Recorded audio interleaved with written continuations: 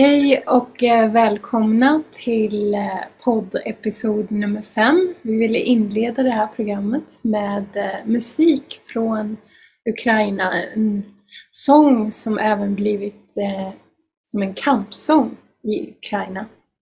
Så ikväll kommer programmet att vara på engelska så därför kommer vi gå över i att tala på engelska.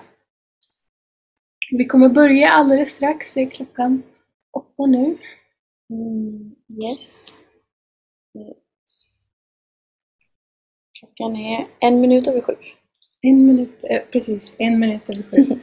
so welcome to the recording of pod episode number five. Um, this is a series that the Climate Alliance is doing from the 11th of April until the 11th of September. Tonight we'll talk about the climate debate based on the situation that has arisen in Ukraine and how it affects us. The program tonight, as I said before, will be in English. My name is Mariam Jallow Tulusan and together with me is uh, Olivia Alm Brillantes. And we will be hosting these seminars Yes, we are doing this series of conversations in collaboration with Andreas Aldrin at Levande Video, and we would like to send a special thanks to the researchers uh, from Researchers Desk, who will also participate in the panel during this program series. We will look at current politics, ethics, and morals questions around that, activism, the artistic expressions in the climate struggle. For the last 50 years in Europe, we have been living in peacetime. This has been very beneficial to our budgets, and most of the European countries have been spending less than 3% on tanks, missiles, and warships. In a time when we need to focus on the climate and the threat to our civilization, we are instead looking to increase our military budgets due to the war in Ukraine. The war has unstabilized the world order. The longer it goes on, the more fear and money will be spent on military all across Europe and the world. The war in Ukraine could also become a wake up call for Europe to become less dependent on the fossil fuels and the fossil energy sources which is the absolute best way to undermine the Russian war machine. Oil and gas are large export products from Russia, and uh, oil and gas are also often the basis of many dictatorships around the world. We would like to welcome our Ukrainian guests, one of them residing in Sweden and the other in Kiev. Um, so we have uh, Yevhenia Zasadiako, head of climate department at the environmental organization Eco Action, who previously worked for, among others, Bankwatch and have been on internship at the Environment Committee in the Ukrainian Parliament. Her experience in uh, environmental protection and climate policy is more than eight years. And then we have Inna Sovsun, previously Minister of Education from the revolution in 2014 until about 2018.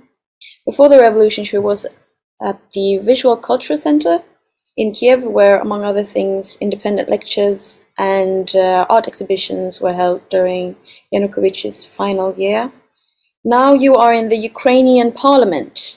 Thank you so much for joining us today. Thank you for the work you are doing to create peace and democracy welcoming. Yeah, Thank so we would. So we would like to start to ask uh, questions to uh, Inna. So you're now residing in Kiev. What kind of uh, work and support can you do from in Kiev?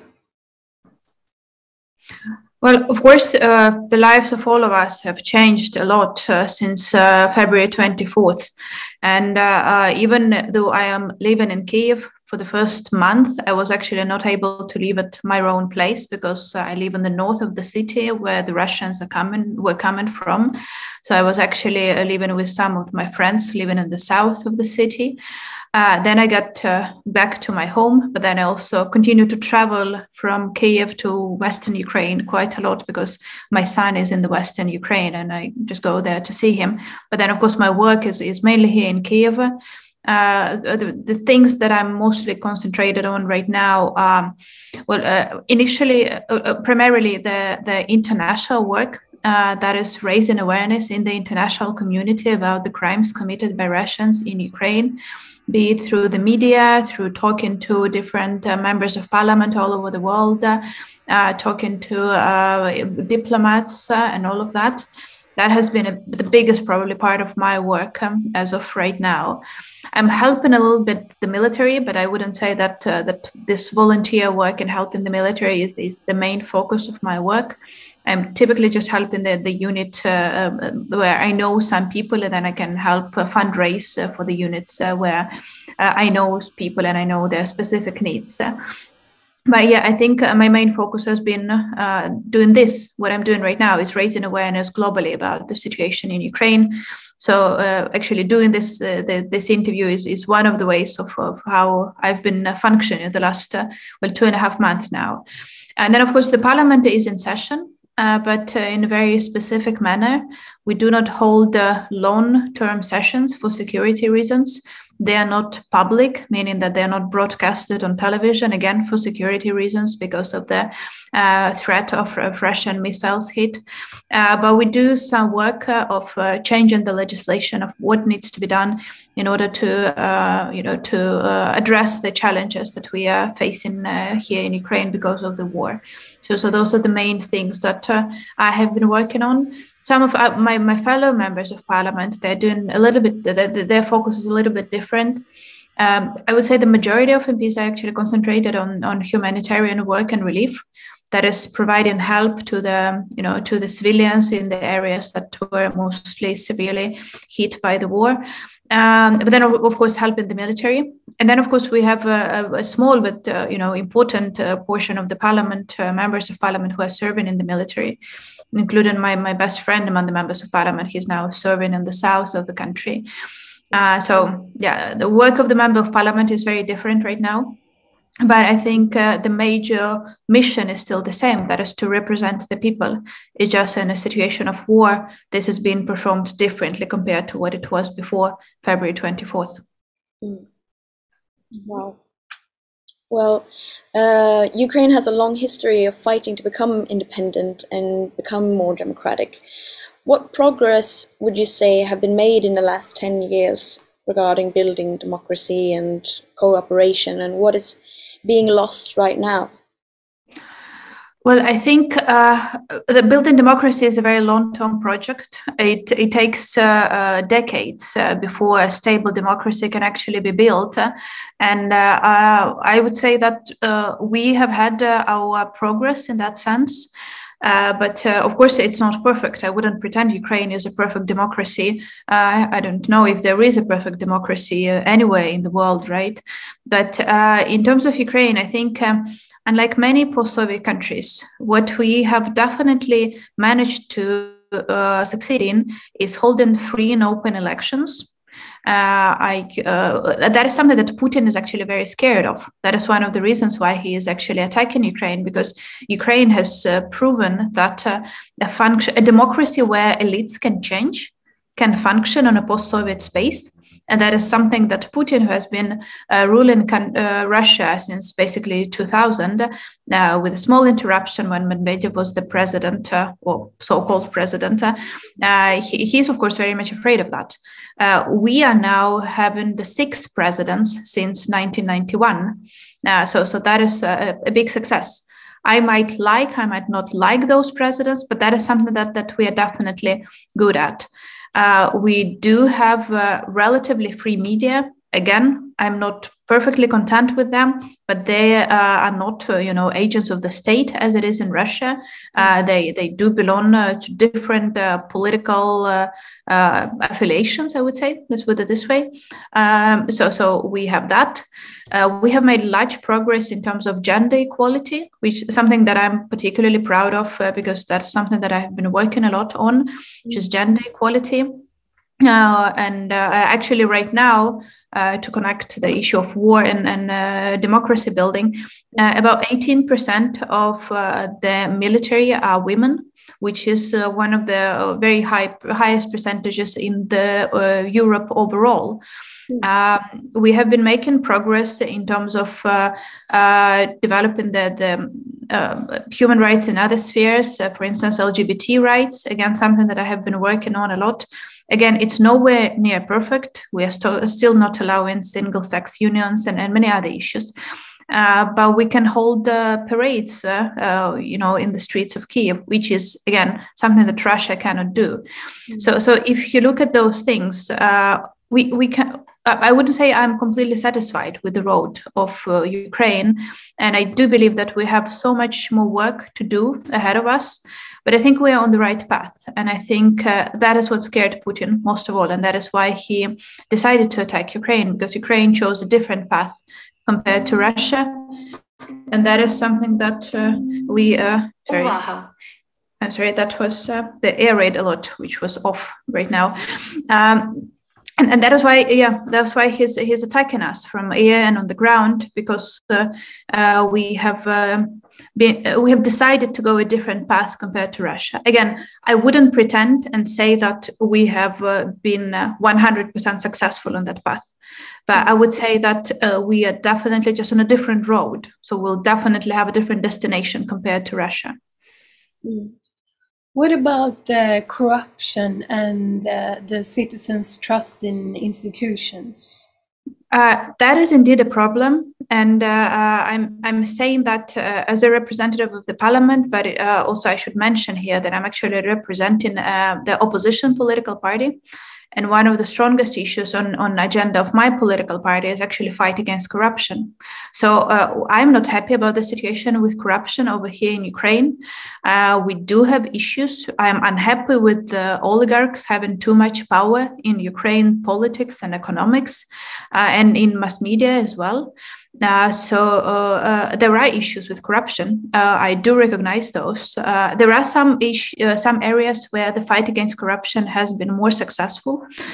for instance, we had huge problem in corrupt with corruption in education, where university access was very corrupt before 2008 then we uh, we have changed quite a lot uh, with the uh, independent test uh, being the single uh, mechanism for entering universities. Mm-hmm. And right now, uh, every people trust the, the, the, university admission systems.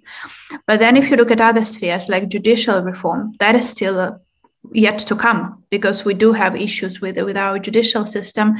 Uh, and we have been making steps in terms of reforming them. They have been not nearly perfect. So i'm, I'm not you know i wouldn't claim that this problem has been solved. This is a big problem for ukraine. Uh, i would like uh, to see us concentrated more on that. And um, unfortunately not enough has been done. But again uh, many steps have been taken in the uh, anyways. Uh, we have established the national anti-corruption bureau national anti-corruption prosecutor's office national anti-corruption uh, court. Again they're just in the making. I mean over here in ukraine um, particularly among the, the activist community we are all wishing for the results to come right away right? But with, with me having a background in education policy and I remember how this national test was established to, to fix the problem of corruption in the university admission. And I know it took years. So I know it takes years to build the institutions that will be fighting corruption. We have built some of those, some more, some less successful. Um, so we just wait for them to to provide the results. Uh, and and uh, yeah, I'm I'm not happy with the results that we get so far. Uh, but again, the progress has been big compared to what we had um, eight years ago. Okay. So, how how much influence have Russia had over Europe? Ukraine during this period? How have they been able to influence? That depends on the period, because uh, if you look in Yanukovych years, that was uh, completely different. Those were the years where Russia did exert a huge control over Ukraine, where they could control, uh, uh, where they were making deals basically in the interests of Ukraine, and they were actually making them. Uh, and their major uh, major um, instrument for uh, influencing were the energy uh, sector because uh, Ukraine grew dependent on Russian gas, Russian oil, and then Belarusian uh, oil as well, a little bit. Um, and because of that, they, they did manage to trade favors in exchange for cheap gas and cheap oil. And those are the favors that cost us dearly. There was a deal that was made uh, uh, by pro Russian governments that we did have a couple of times in, in 30 years of independence, where um, uh, in exchange for cheap gas, we allowed the Russian uh, military fleet to be stationed in Crimea. And look how that ended up uh, being used. You know that, that this is it's not even a debate here in Ukraine. Everybody kind of recognizes it as a fact that because we wanted, we not we, but the country decided to go for cheap uh, gas, we basically allowed Russians to build their military base um, on the south of the country, which they later used uh, to take over parts of our territory. So, so uh, dependency on on cheap Russian energy sources. Um, has been the major instrument through which Russia has been changing Ukrainian political decisions and, and political system overall. That, of course, has changed a lot since 2014. After Russia annexed Crimea and started the war in Donbass, it didn't exert direct influence over Ukraine. Well, because it became pretty obvious for basically everyone in, in power uh, what Russia is and, and what it aims to achieve. Uh, but the influence has changed because since 2014, we had to focus our attention of on a lot on getting rid of Russian influences, on on you know, you know paying more attention to the war, allocating resources to the war, and all of that. And because of that, of course, uh, uh, Russia was still present uh, in Ukrainian politics, uh, but in a different manner, not by, by exerting direct int- uh, influence, but actually because we had to fight against that for the last eight years now. Uh, but we still had pro-Russian political party in the parliament. Uh, we had it up until recently. Uh, their level of support was varying. That really depended on uh, on the year, but uh, up to twenty percent of people were voting for that pro-Russian uh, political party. Uh, they were present in the parliament since February twenty fourth, since the full-scale invasion. half of their MPs have fled the country, so they just left. But the other half that did stay in the parliament, right now they're actually voting in line with other uh, political parties. So they're now trying to change, you know, their their political positions and pretend like they have never been uh, pro-Russian or anything. And I think I think it, the experience of living under the airstrikes is eye-opening and for them as well. Uh, so they actually have. Uh, uh I think some things have changed in their minds but it's not like I'm willing to forgive them for uh, serving as vehicles of, of uh, Russian uh, uh interventions over here in Ukraine, because they, they were indeed. And of course, uh, even though we were trying to uh, become less dependent on Russia, truth be told, we have still been defend- dependent on Russia and, and Belarus on fuel, for instance. And that is something that we are seeing right now, today in, in Ukraine because uh, uh, right now we do have uh, huge fuel shortages all over the country. It's, it's basically impossible to, to, buy fuel for your car, mm-hmm. and and and that is because we have been so much dependent on Russia, even up during the last eight years.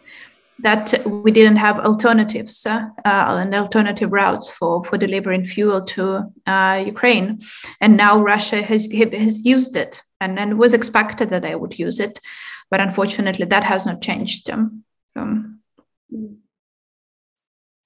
um, well, what do you consider to be the main reason for this war? Is it that you've gone on that road of becoming more democratic, or is it um, something else that's been luring?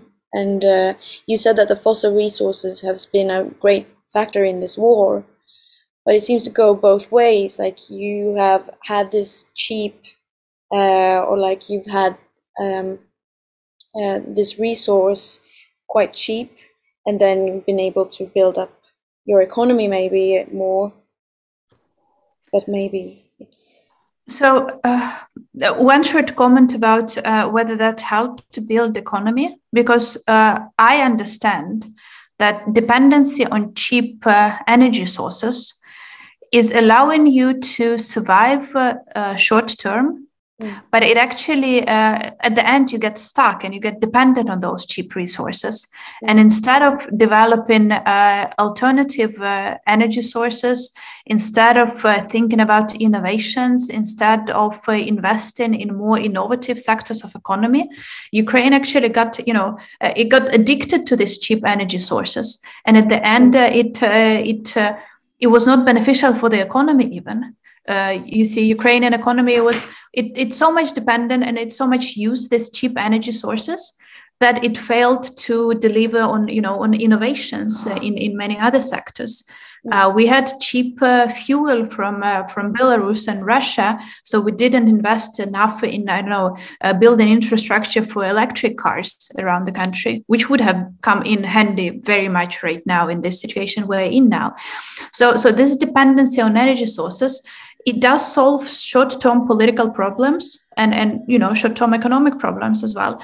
But it's actually very bad midterm and, and long term of course eh, particularly if we keep in mind the, the, the climate uh, uh, crisis that we're living through right now. Uh, unfortunately not everybody understands that. Uh, we have as a party have always been uh, saying that probably explains our very low level of support among the Ukrainian population because we have always been telling the truth that this cheap Russian gas always costs you a lot in the long run, you know. And I think um, that is something that Europe needs to understand right now as well. Mm. Um, so, so I wouldn't say that that this. Uh, uh, I would say that Russia has definitely been using energy as a way of, of changing politics and policies all over the world, particularly in Europe. Uh, but I would say that energy is, is the instrument, not the, the goal in itself. Mm-hmm. And I think if, if, uh, if we speak about the goal, the goals are a bit more complex. And I think that is uh, some sort of re- revival of Russia, Russian imperial ambitions and they, they are now trying to reclaim parts of the territories all over Europe uh, to be Russian, uh, to reclaim this, uh, you know, uh, the status of a grand power. But they're not doing that based on, on, you know, innovations, based on proposing new progressive thinking or anything. They're doing that as they used to do hundred years ago, but but sheer force and then you know um, the intervention in in other countries' affairs. So I think those uh, unfulfilled imperial ambitions uh, um, and with the access to cheap energy sources have led to, to this war altogether. So, so they had the instrument and they had the ambitions and probably the trauma from the past of you know losing the status of a great power uh, and that is uh, something that they try to reclaim right now, rather unsuccessfully, truth be told. I'm very proud for the Ukrainian army to be able to stop their uh, efforts in that. Uh, yeah, but I think again, energy is the instrument. Uh, those imperial ambitions are, the source um, and um, of this terrible and terrifying war. But if you ask Russians about what the, the goal of the war is, I wouldn't. I, I'm not sure if they would actually be even able to answer that question to you. I'm not sure how they explain this war to to to to themselves uh, now because I think they have been so much victims of the propaganda uh, that they cannot even explain very basic things, and then they they're saying very contradictory things altogether. Uh, but yeah, I think the major issue is this those imperialist ambitions of of uh, Russia. Uh, in the media, we talk a lot about Putin, and we call this Putin's war um, is it could it really just be one man's stupidity, or who and what do you hold accountable? Could we just get rid of Putin and this will end and it would never have happened? Well, that's a great question because I think um, it's very tempting to think that uh, it's Putin's war against Ukraine. And if we get rid of Putin, if he dies, and I, I very much like the idea, but you have to realize that that's, that will not solve the problems altogether because unfortunately about 80% of russians support this war in ukraine 80% and and we are uh, and you, we can we can think that maybe they don't know how this war looks like they actually do know. They actually understand that uh, this brings in levels of of, uh, of human rights abuse of of you know they understand how terrifying that is and they're fine with that. And that is most terrifying thing about it altogether i think. Uh, there was uh, uh, a very i'll give you just a couple of examples of that.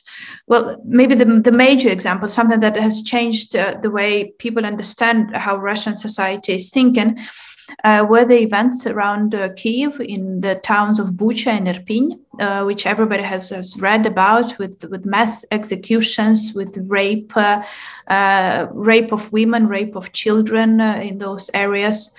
And but there was le- probably less reported story, but I think very telling story, because Russian soldiers who have been stationed in Bucha and Irpin, they would go into people's houses, take everything they see there, and send that back to their homes in Russia. So, so they would come in. at the, the, most like the most vividly reported uh, uh, were the fact that they were stealing the washing machines uh, and sending them to their wives back in Russia and there were actually multiple multiple reports of of their wives uh, saying like oh that's great. Can you also find me this like a mixer a hair dryer or something? And then if you look for clothes please make sure you get the right size. So so this is just something you have to bear in mind that it was okay for their wives to be saying things like that. You just go to another woman's home take the stuff that belongs to her take the stuff that belongs to her child and send it back to home to me.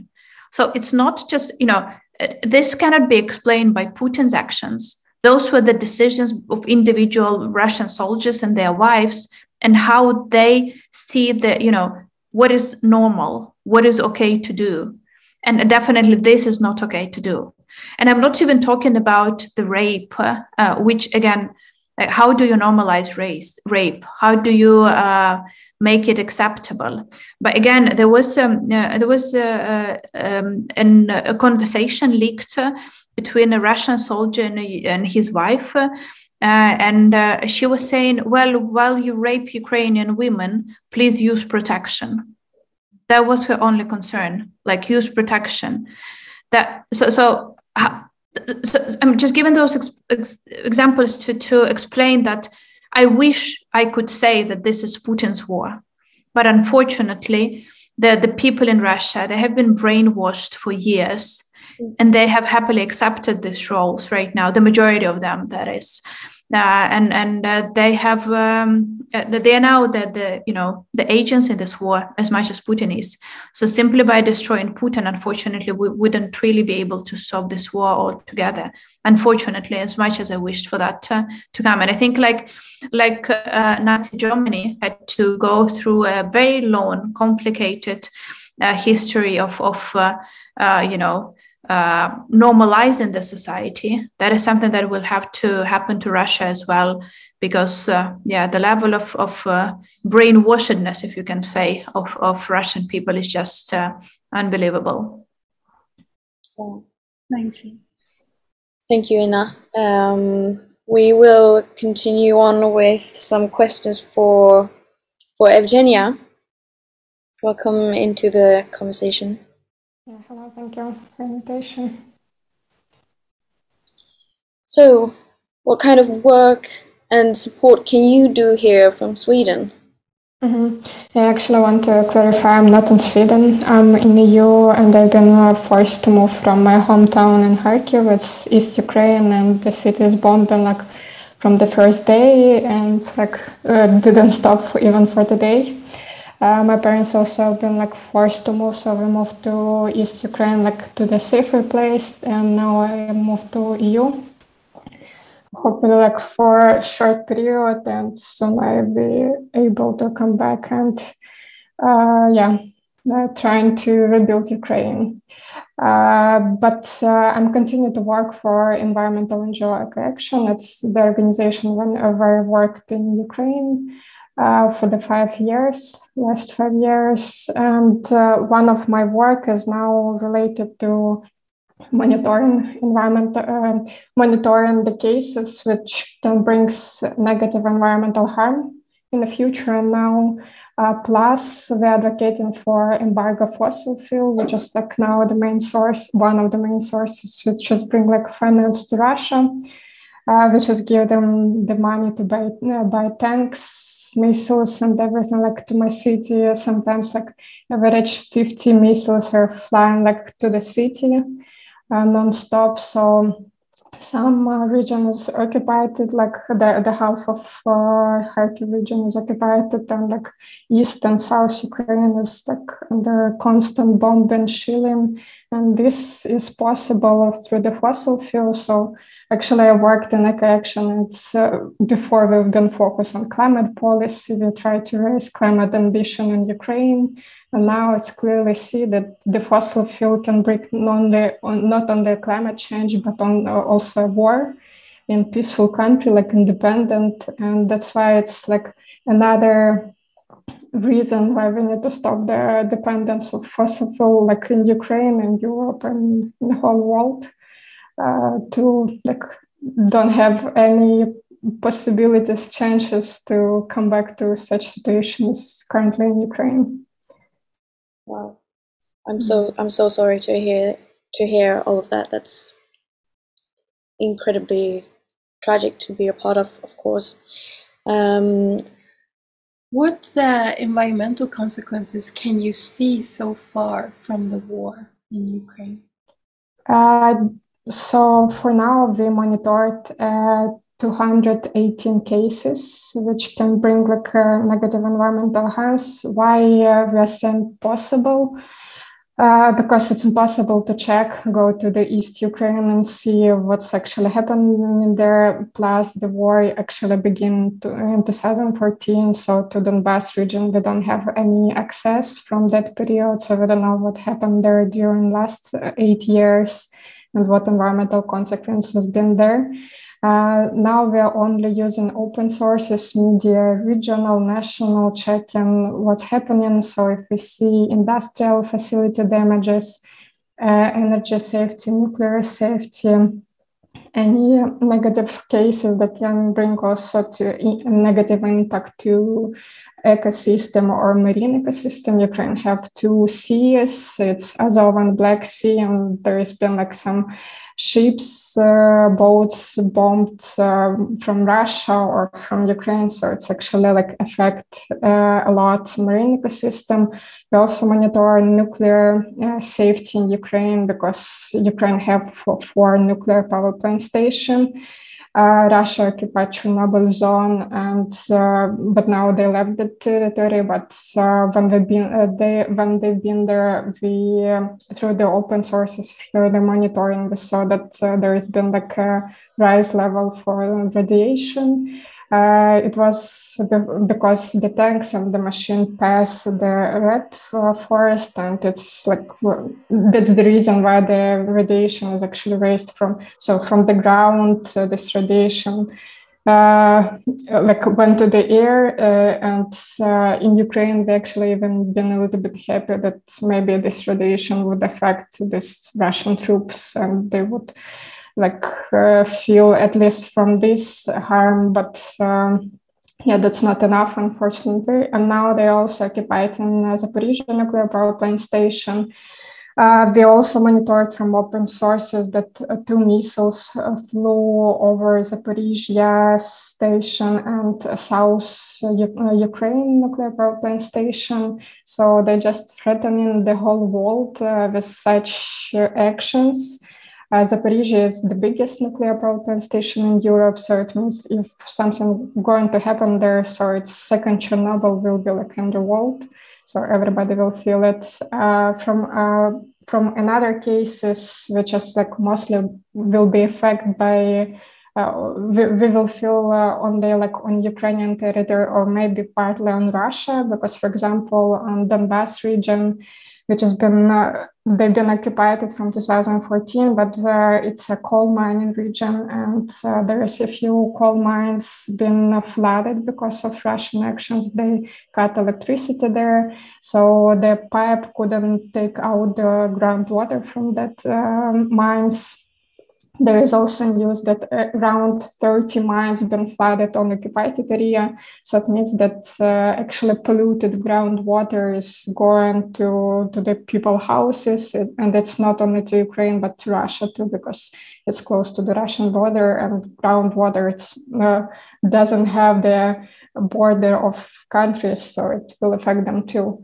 Uh, and yeah, we have a lot of cases every day, like uh, a few cases more. Uh, in the beginning of the wars, we monitor like tens and more uh, cases. Now it's a little bit less, but uh, one of the one of the reasons we don't know the all information uh, because like a lot of territory just occupied, so there is no independent media who would like broadcast and share the, what's actually happening there. Hmm. All right, so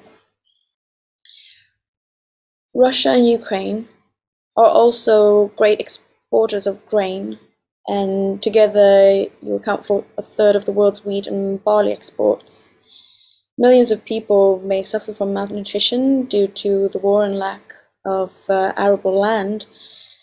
Uh, Russian bombardments uh, have also started forest fires, as you said, with um, the within the Chernobyl zones, uh, and this may um, affect the land and the uh, the um, grains as well. So, can you explain perhaps um, the short and long term harm to the environment and especially the arable land? Uh, yes, actually, some part of Ukraine uh, where it's like uh, safer, so people come back and they went to uh, agriculture sector and like trying to grow up at least something uh, even though like the missiles, rockets is flying over like Ukraine every day, and like uh, the biggest part is uh, still in East Ukraine, but still like a few missiles been a few days ago in Lviv, it's West Ukraine, which is close to Poland, and in other regions too. Uh, so uh, how it's affecting like in long term and short term uh, all these bombs missiles uh, any military activities there and plus there's also around now 7000 destroyed uh, military machines. It's tanks cars and different other kinds. I don't know name all of them uh, it's like around more than 10,000 now, and it's also waste that can bring like uh, um, it's uh, called like waste that can uh, pollute from the chemical side. So all these missiles, bombs, they have uh, not only steel and uh, copper inside, they also have um, sulfur, uh, which is can um, pollute the, the soil, the groundwater, uh, plus all these tanks and uh, when they burned or just like I don't know. There is even the news that Russian troops ju- just leave them on Ukrainian territory. So if they are not utilized, um, it means that it would also affect the uh, environment around. Uh, so it's another challenge to Ukraine would be after the war would finish to actually utilize very quick uh, all this military waste, and we didn't have any experience before, so probably we are going to be needed some help from uh, countries who had that before. I don't know. I know that Germany had some factories that can utilize and do something with the tanks. Maybe some other countries too had such, uh, but it's important to do it like as fast as possible. Of course, like the territory of Ukraine is huge like uh, 7,000 uh, military machines do just like one can like be a few thousand ton or, or a few tons uh, we just like need to be uh, moved somewhere and so on. So it would be like a huge challenge but we will need to do it fast i hope so. Mm-hmm. well we have Inna wants to add Yeah, I would like to add uh, one, uh, two points on that. Uh, uh first of all, uh, in terms of the economics of the issue of, of uh, agriculture, there was some analysis of the situation, and the worst case scenario shows that Ukraine would be able to plant about 70% of its crops compared to the year before. So 70% is actually not as bad as we have envisioned at the very beginning of the war, uh, but it's still, you know, it's still a 30% loss, but it's still, you know, we still can, can plant about 70% of, of that. And of course, we're experiencing major losses because uh, uh, of the part of the territories, particularly on the south, which are important agricultural areas, uh, being under Russian control. So we can't really expect any uh, mass, uh, you know, plantations over there. Uh, but then also because uh, parts of the territories have indeed been contaminated, as, as Yevhenia have, uh, have been saying, uh, because of the war. Uh, but the issue is is not just the the problems arise not just from the occupation of the land, but also because of the further logistics of the harvest to other places. Because with Russia having control over the Black Sea ports, we would not be able actually to export the grains that we shall grow and and all, uh, we uh, so so we are going to consume about half of what we shall produce this year. So we do not expect uh, any food shortages in the major territories of ukraine. But of course we have been an important source of uh, of grains and other and, and other uh, goods agricultural goods for other countries and they will be experiencing problems. Again not on our fault not because we didn't grow them, but because we do not have the logistic systems in place to deliver those goods to other countries, like to Egypt, to Bangladesh, to other countries that we have been selling grain to. Uh, and, and because, uh, yeah, again, the, almost all trade was done uh, through marine routes, which are unavailable right now. Uh, so, so that is one of the issues that needs to be worked on right now, like access to the European ports through the ground, through the railroads. Some needs to be done because we, we are willing to trade. We are willing to, you know, to continue to supply the world with the grains. Uh, it's the matter of logistics, which is which is crucially important, which needs to be worked out. But then there is another issue, and if it's possible to to show the picture that I, I sent a little bit uh, before, uh, then there is an issue of mining of the lands in Ukraine. And that is, uh, in addition, again, to what has been said, uh, this is a huge problem. Over here, you can see the territory uh, that uh, needs to be, uh, you know, surveyed by by the miners or deminers, if you call it. Uh, and it's a huge territory. And of course, you also have to remember Ukraine is a very big country. So uh, if you look at the con- uh, at the territories that have been contaminated because of the landmines, it's about 14% of Ukrainian territory right now, which is dangerous due to mining. And the, the, well, just to put it into perspective, the contaminated uh, territory today is the size of Austria. So, so imagine uh, expe- uh, inspecting the whole Austria uh, in order to find the, you know, the, the landmines. That's of course is, is a huge, uh, a huge uh, undertaking. Uh, and if you compare it to some other military conflicts, uh, uh, like of course there have been uh, the issue with mining in Bosnia and Herzegovina after the war in the early 90s over there, but the territory that was contaminated uh, as a result of mining over there was 70 times smaller than the area that has been contaminated by landmines in Ukraine right now. Uh, so, so that is uh, again one of the biggest issues, particularly like if you look at the north. Uh, uh again, uh, those are the territories where we could be growing things, which where we were growing things, but we are unable to do that. So right now, until the area is inspected, and that is probably one of the areas where uh, well, Sweden as well could provide support uh, in terms of demining of the territories, uh, because that needs to be done because that truly affects not just the livelihoods of people because of course they have uh, you know people need to go back and then they cannot go back until the area is inspected but also the, the economics including the particular mainly the agricultural economics of ukraine. So so that is important to keep in mind as well. Thank you for for allowing me to intervene here. Yes. Um, on the 7th of uh, april uh, the european union uh, had a vote and took a stand on no uh, imports of Russian oil from 2023. Uh, but there was no plan put in place how how they would go about that. And some countries are heavily dependent. How do you think that would be possible? What should a plan look like to realize this?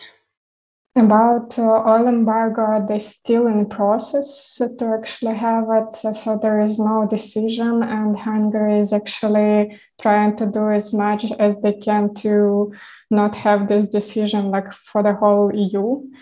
Uh, there, there is a decision about embargo on coal uh, and some discussion about the gas, but now like uh, the main, which is discussion about the embargo on oil ban uh, yeah, sanction for the oil, call it as you like. Uh, so uh, there is a lot of um, calculation modelings that uh, provides that it's possible. It wouldn't be that easy because still like Russia provides uh, not only to Ukraine but uh, to Europe too cheap fossil fuel, and it's like. Um, and everybody now depends, and it's clearly show like uh, what kind of harm it can bring. So that means that everybody need to stop this dependency on Russia from uh, any sources. And it's actually, there is not so many discussion, but uh, Russia also exporting uranium, uh, which is, for example, US, uh, they put a ban on all fossil fuel except uranium. Uh, and uh, there is also some EU country which is also dependent, not even like uh, this discussion even not raising and like even didn't start. So there is like a lot of um, uh, I don't know, would I call it lobby or a lot of interest from different sides who's trying to postpone to stop any possibilities to actually put embargo. There's hopefully a lot of um, uh, civil society movements, uh, politicians, deputies, people who is really support Ukraine, who see like what kind of harm it, it can bring. So they're like pushing the government, but uh, it's unfortunately not happening as fast as uh, we in Ukraine would expect it because like every day postponement this decision, it means like every day people dying and it's like ten hundreds thousands sometimes and uh, like every day uh, it means like more people is going to die. Even like uh, that embargo on coal that they put it's going to happen only from september if i'm right. So actually it would not affect russia like from the moment when this de- decision been made. Uh, so it's important to actually like make this decision now and like looking for any any other opportunities to uh, yeah to stop it. There is clearly uh, because i'm like from environmental ngo we worked on climate so we're clearly not support to find another country uh, that would bring like to you another fossil fuels. It's important to develop energy efficiency uh, renewable power plant stations which is like it would give uh, and ukraine and eu like to be more independent not to be dependent on any aggressors country uh, uh, and like uh, whatever uh, who can like try to influence democracy and uh, from different perspectives.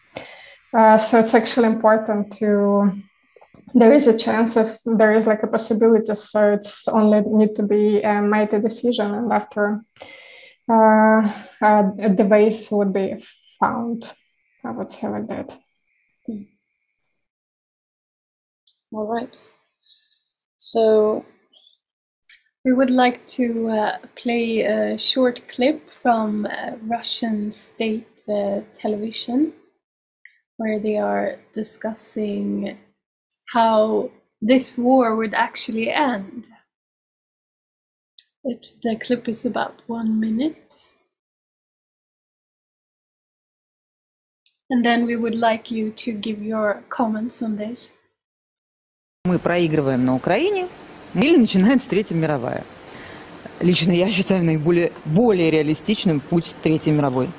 Ну, потому что, зная нас, зная нашего руководителя Путина Владимира Владимировича, вот самое невероятное, что в конце концов все это закончится ядерным ударом, мне представляется все же более вероятным, чем вот такое развитие событий. К ужасу моему, с одной стороны, с другой стороны, к пониманию, что, ну что, значит так. Знаешь, меня... Но мы-то в рай. Да. Меня... А они просто сдохнут. э,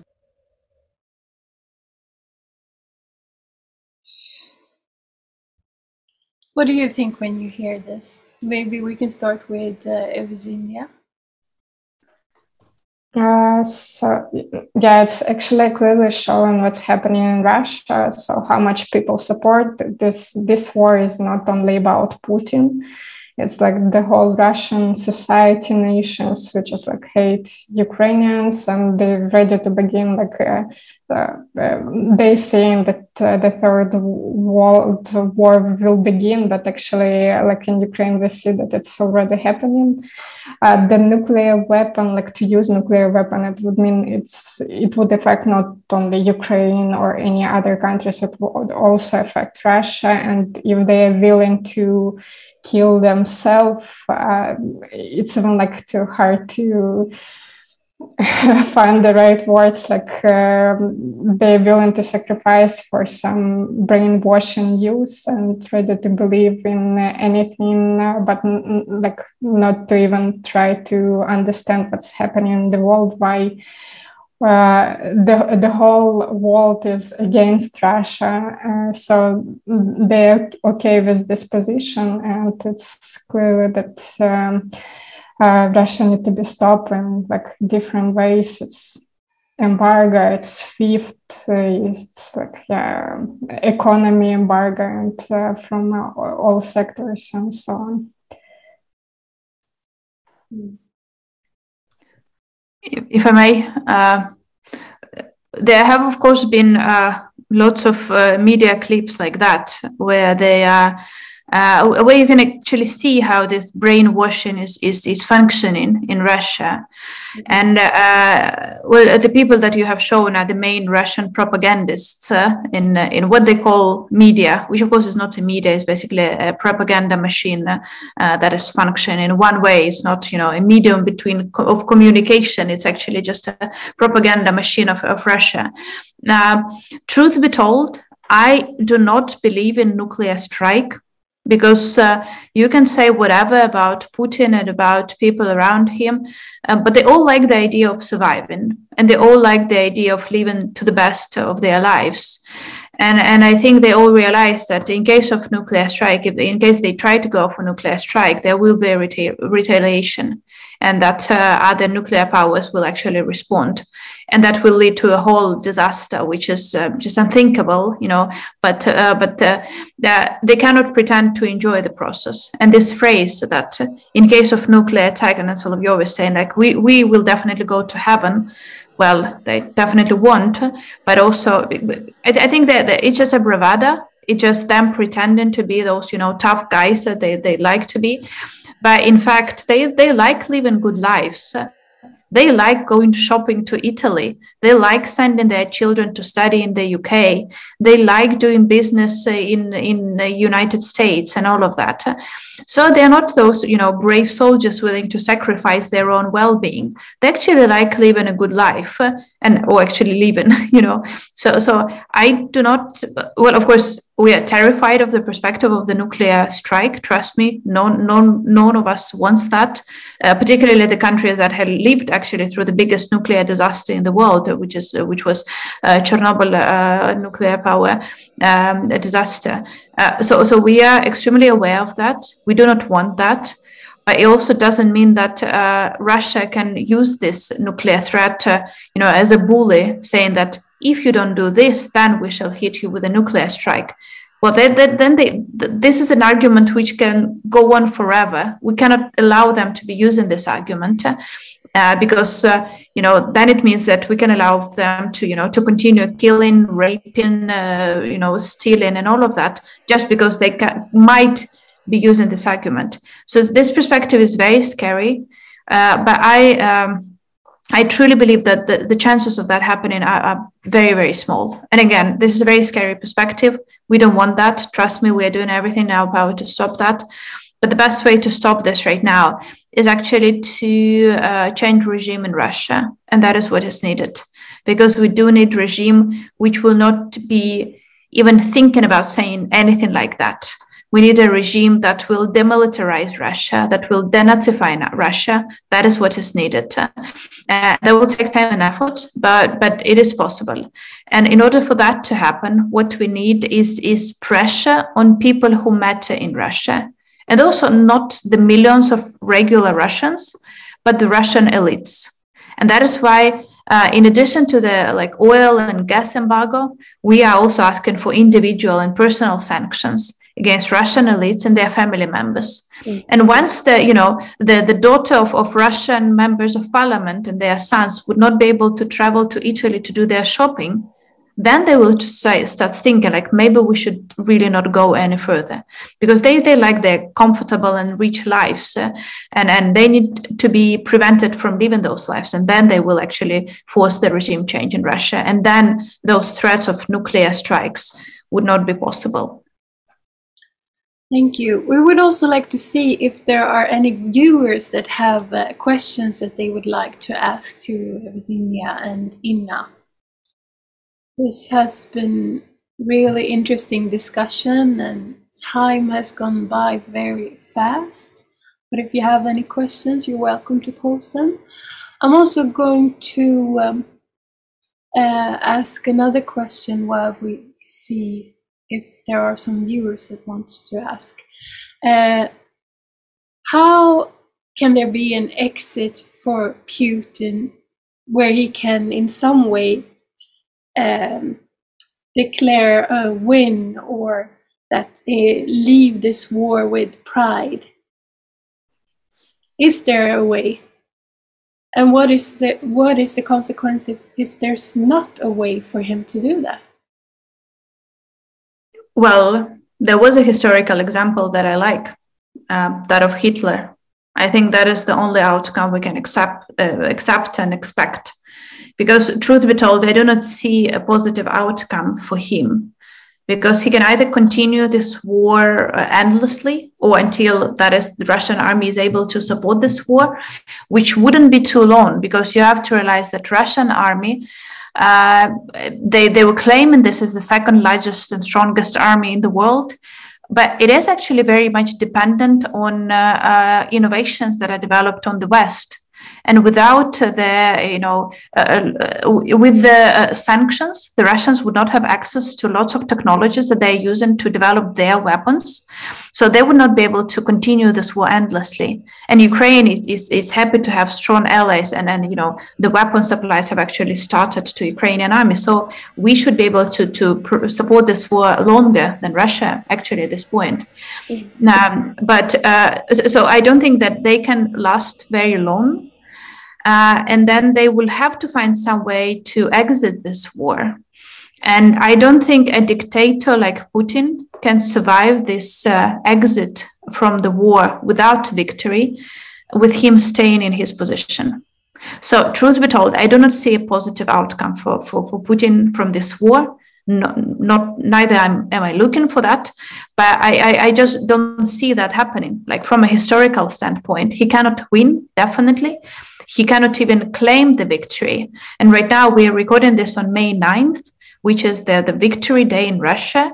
And, and you know, there were lots of discussions about what sort of victory would they declare today? Uh, would they go for full scale mobilization? Would they go for full scale war or anything? They didn't go for anything. Like Putin's speech was, you know, uh, remarkable for the absence of any, you know, goals that he's setting for his own army right now. So uh, I think they're at the crossroads right now where they cannot really go further, but they cannot stop. Uh, and I think again, the issue is with Russian political elites whether they would be willing to intervene and actually to stop Putin internally while we are doing that uh, from the outside with the Ukrainian army fighting against Russians. Because, truth be told, I'm not seeing a positive outcome for Putin, and I don't think uh, anyone else in the world can draw this positive picture. Because the arguments like we can compromise, uh, trust me, we wouldn't. Not after what has happened, not after what they have done to, to, to our land. We shall not compromise, neither should we be asked to compromise on, on, on the sovereignty of our state. So we are not giving up. And, and uh, well, Putin will have to yeah, study the historical examples of what dictators that invaded other countries did to themselves uh, uh, when they realized that they are losing the war.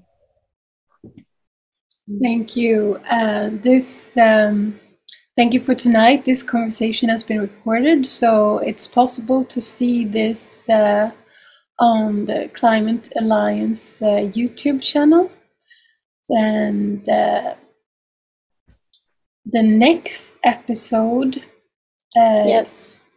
Um, a huge thanks to both of you. Uh, really, we will um, follow your journey and hopefully we will see the light of the tunnel.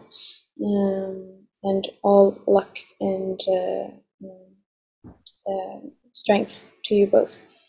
Um, Thank you so much. So, yes, the next episode we'll, we'll have a guest called Brian Palmer here, and he is a social anthropologist and scholar of religion at Uppsala University.